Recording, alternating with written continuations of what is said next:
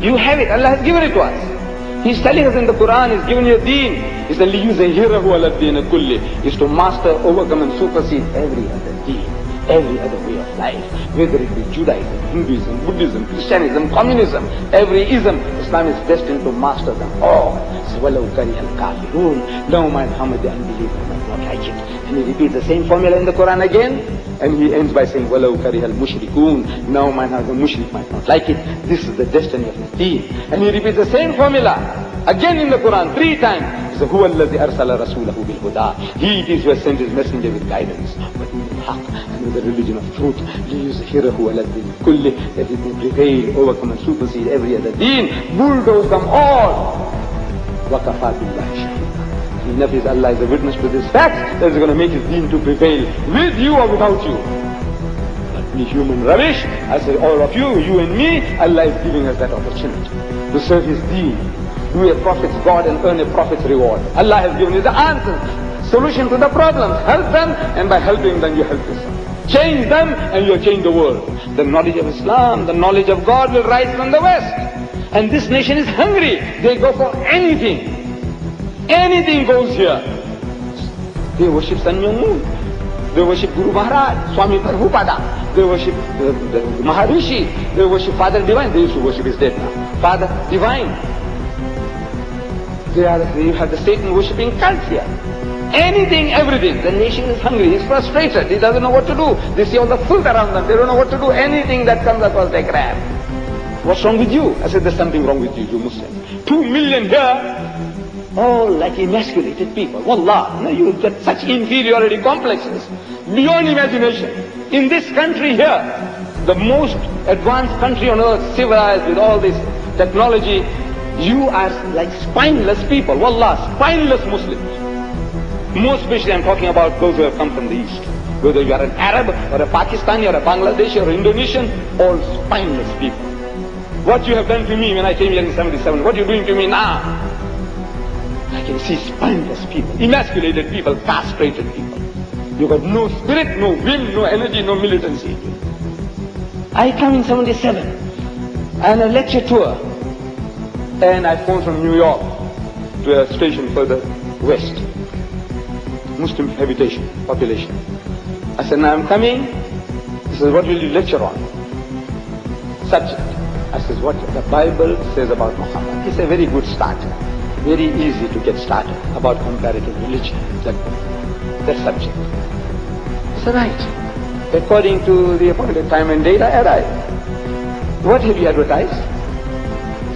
They give me a pamphlet. Not like this, but small leaflet, what you call it? Flyer. It says there, a prophet in the Bible. Ahmed Deedat will speak on a prophet in the Bible. I said, you understand English? You university students? You monkeys? A prophet? I said, what is a prophet? You know what A means? You don't know.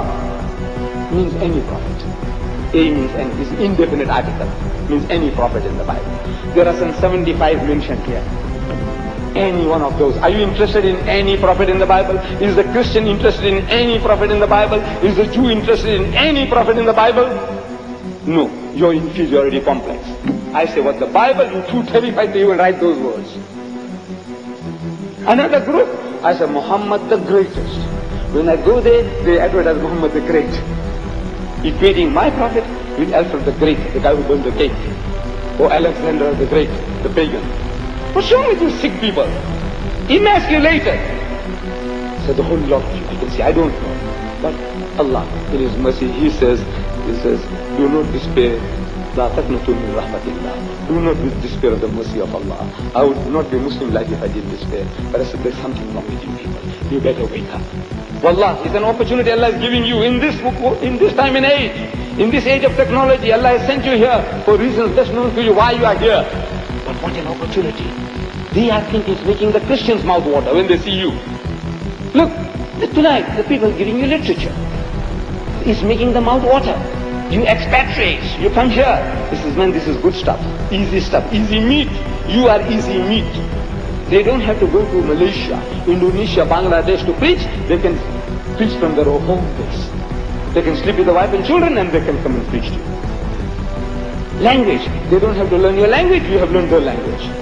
Culturally, you are westernized. From every point of view, they feel that you are God sent to them. Yes, you are God sent to do a job of work also. Change them! People who can worship anything, everything, why won't they will not accept Allah Bari Ta'ala? Why won't they? The reason is you don't open your mouth. You know why you don't open your mouth? You're too terrified. You're suffering from a host of inferiority complexes. Get them out of you. Open the Quran, read the Quran, let Allah speak to you.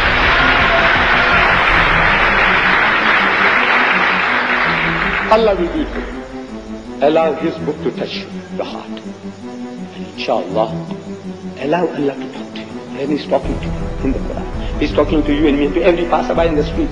Let Him talk to you. And you will not be able to sit on your backside doing nothing.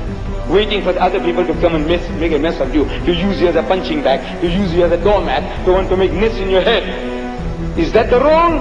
Allah says no.